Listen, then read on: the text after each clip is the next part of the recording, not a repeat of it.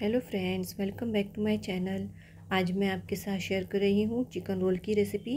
Home homemade patty के साथ बहुत ही क्रिस्पी बनते हैं और बहुत ही बनाना आसान है। चलिए देख लेते हैं इसका बनाने का तरीका। तो यहाँ पर मैंने रोल के लिए तैयारी करके रख ली है। मैं आपके साथ पहले भी रोल पट्टी और समोसा पट्टी की रेसिपी शेयर कर चुकी हूँ।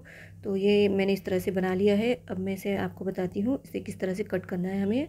तो एक रोल ले, एक पट्टी ले लेंगे और इसे हमने इस तरह से ऊपर से इस तरह से कट कर लेना है। एकदम प्लेन सीधा कट कर लेना है हमें और इसे निकाल लेंगे और फिर इसे हमने इस तरह से पलट लेना है।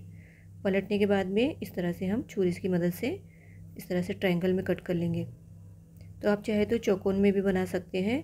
मैं आज इस तरह से ट्रायंगल शेप में बना रही हूँ चिकन रोल तो ये देखिए इस तरह से कट करना है और फिर इसी तरह से आपने दो तीन एक साथ लेकर रख लेना है और फिर उसके ऊपर इस तरह से रखेंगे ट्रायंगल और फिर एक साथ हमने कट कर लेना है। तो इस तरह से आपने दो से तीन एक साथ कट कर सकते हैं।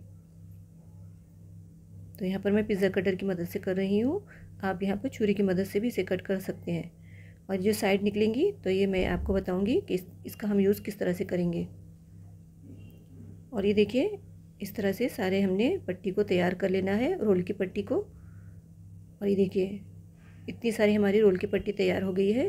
तो इसे हम रख देंगे साइड में और अब मैं आपको बताती हूँ कि आप जो बची हुई साइड्स है, इसे आप किस तरह से क्रिस्पी बना सकते हैं। बस इसे इस तरह से फोल्ड कर कर लेना है और फिर छुरी की मदद से इसे हमने इस तरह से पतले पतले स्ट्रिप में काटते जाना है। एकदम पतले पतले स्ट्रिप में काटेंगे और इसी तरीके से सारे जो है हमारे बचे हुए जो साइड से निकले हुए हैं, सारे को हमने इसी तरीके से कट कर लेना है।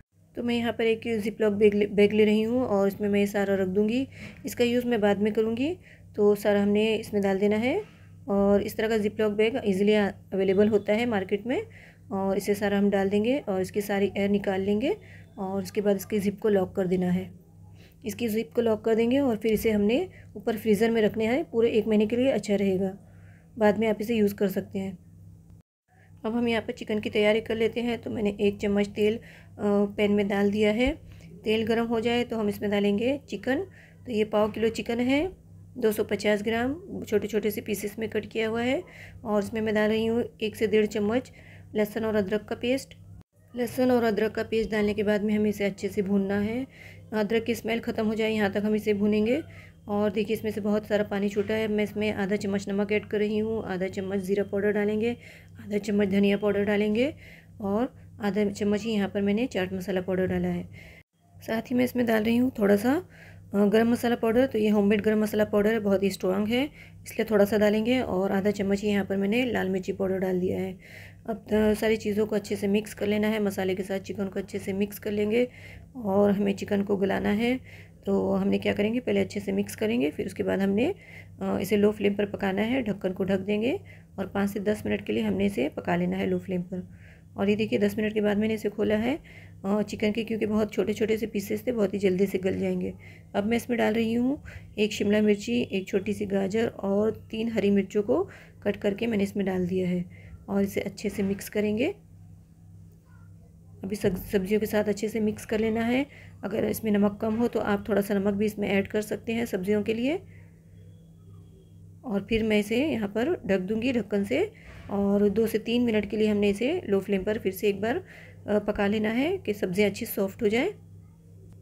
सब्ज़ी अच्छी सॉफ्ट हो गई है तो मैं इसमें अब डाल रही हूँ एक प्याज जिसे मैंने बारीक कट कर लिया है, बारीक चॉप कर लिया है।